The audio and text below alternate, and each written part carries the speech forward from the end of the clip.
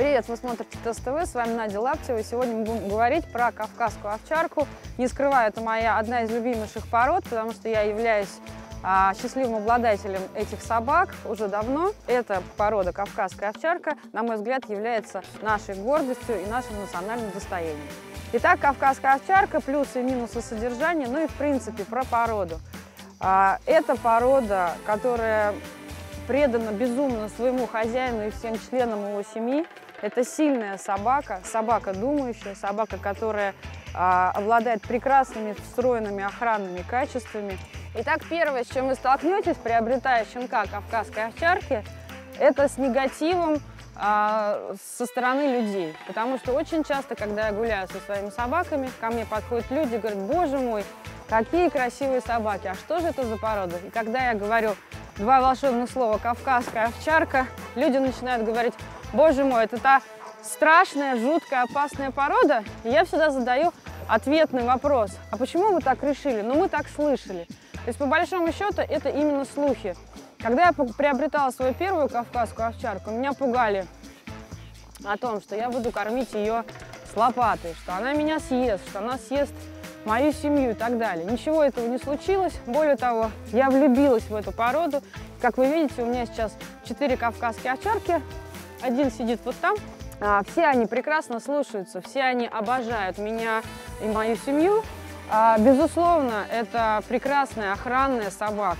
Это собака, которая замечательно социализируется. Э, с моими собаками я езжу в город, я езжу за границу. А, наш самый старший кобель ездил на самолете, на поезде. То есть э, у меня нет вопросов к этой породе. На Кавказе десятилетиями именно эта порода использовалась для охраны и перегона овец с территории на территорию. И, конечно же, и, и отбраковывалась эта порода, если она была излиш, излишне трусливая, излишне агрессивная. И именно эта собака понимала чебана просто буквально с полумига, с полувзгляда. И, конечно же, генетически это закрепилось и в этих собаках это есть. А, поэтому, как мы видим, сейчас собаки сидят и ведут себя прекрасно.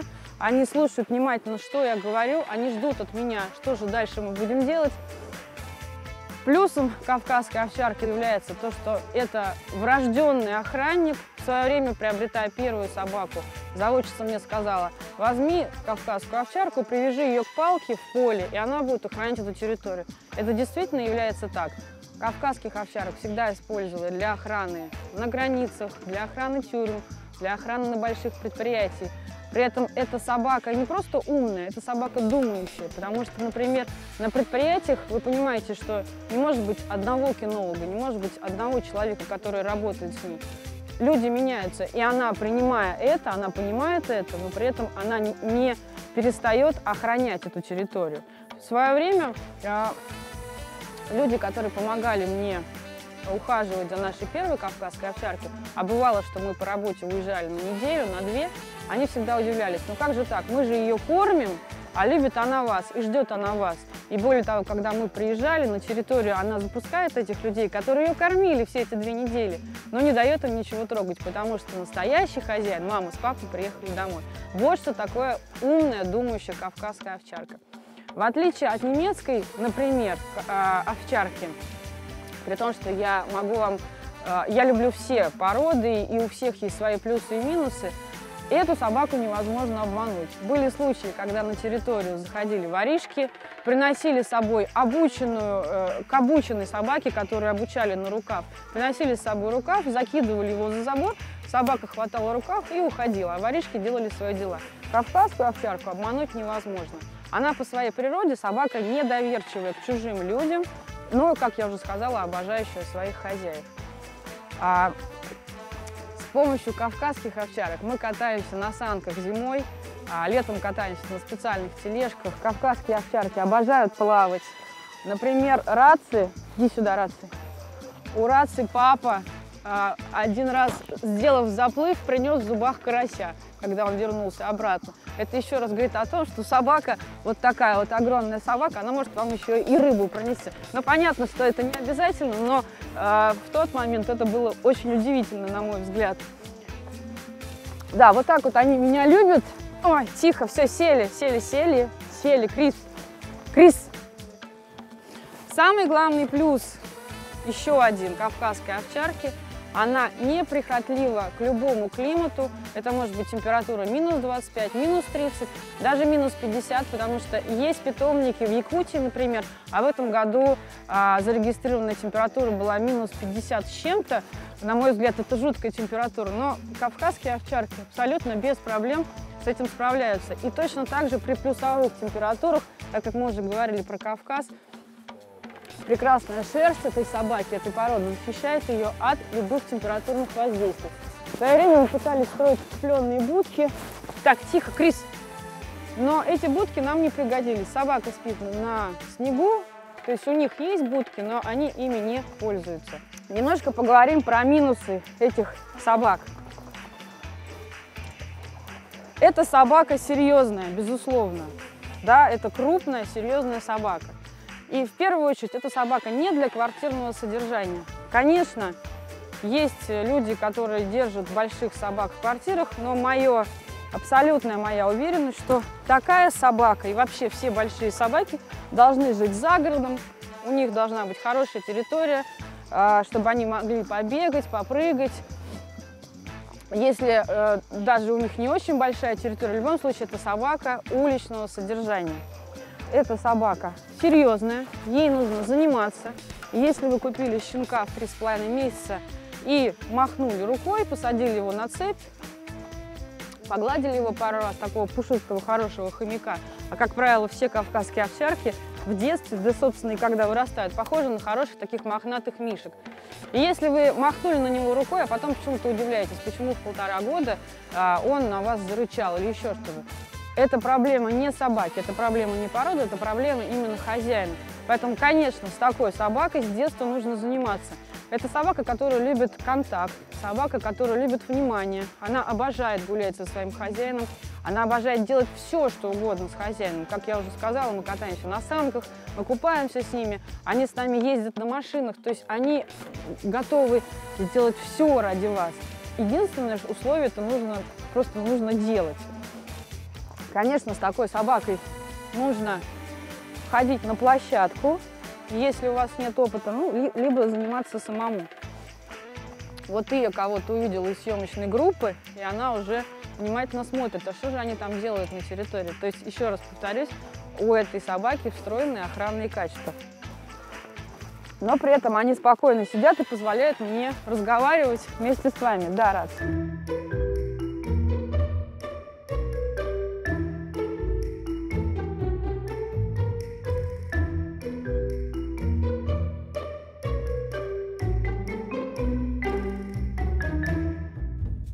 Я уже говорила, кавказская овчарка прекрасно дрессируется. Джика, залезай. Стой, залезай. Ай, браво, молодец, мой хороший. Залезай, залезай. Садись хорошо, да. И она может делать все, что угодно. Абсолютно. И самое главное, что ей это нравится делать. Пойдем погуляем. Ай, ай, красавец, пошли. Так, так, пойдем. Пошли, пошли, пошли, пошли. Пошли. А я занимаюсь для, со своими собаками просто для общего развития.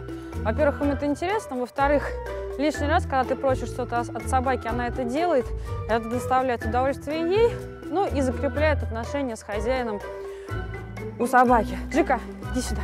Та-та-та-та, вперед. Ну куда ж ты, куда ж ты? Стоп, стой. Молодец. Вот даже несмотря на то, что скользкая дорожка, стой. Несмотря на то, что скользкая дорожка, покрытая снегом, он делает то, что я его прошу. Хотя получилось не очень красиво. Пошли дальше. Еще один положительный момент от кавказской овчарки. Это вот такие замечательные вещи получаются из шерсти кавказской овчарки. Они очень мягкие, очень теплые. Понятно, как любая собачья шерсть, очень полезные. Но я не могу передать через камеру, насколько они мягкие и пушистые абсолютно не колючие. Поэтому я с удовольствием собираю шерсть своих кавказских овчарок и мы дарим своим друзьям либо такие носки, либо варежки. Это очень всегда всем доставляет большое удовольствие. Как, впрочем, и нам эти собаки доставляют огромное удовольствие, да? Пошли дальше. Джека, иди ко мне. Ай! Ой, да, да. Я придумываю всякие разные штуки для своих собак. Вот, например, есть туннель, который по команде они проходят. Для чего это нужно? И в жизни, наверное, это не пригодится. Но еще раз повторюсь, это просто развивает голову моим собакам. Любой породы. Джека, низ. Стоп, иди сюда. Ай, браво, молодец! Да, то есть мы видим, что это именно они делают не потому, что я им приказываю, а им действительно очень нравится контакт с хозяином, что подчеркивает еще раз о том, насколько высокоинтеллектуальна эта собака, кавказская овчарка. Содержание кавказской овчарки не дешевое. Начнем с того, что щенок кавказской овчарки стоит в среднем от 25 до 30 тысяч. Понятное дело, вы можете купить щенка и за 5 тысяч на птичьем рынке, и за 10. Но что вы купите, какого кота в мешке, вам никто гарантировать не сможет.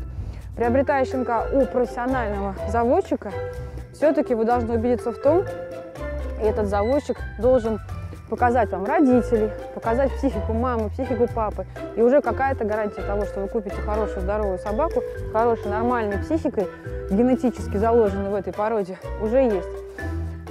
Дальше содержание кавказской овчарки не дешевое. Будьте готовы к тому, что э, ну, эта собака неприхотливая, и она может питаться всем чем угодно. И все мы помним старые добрые времена, где-нибудь у бабушки на цепи вы могли дать миску непонятно с чем собаке, она это ела и прекрасно содержалась. Но все-таки сегодня мы живем в нашем времени, а у нас появились хорошие сухие корма, либо собака может питаться натуральным кормом, но так или иначе, в любом случае, минимум 4-5 тысяч в месяц вы будете тратить на содержание этой собаки. Будьте готовы к этому. Покупать кавказскую овчарку или не кавказскую овчарку, в любом случае решать вам. Но прежде чем купить, смотрите ТСТВ. А мы пошли гулять. Пошли? Ей! Да, пошли гулять.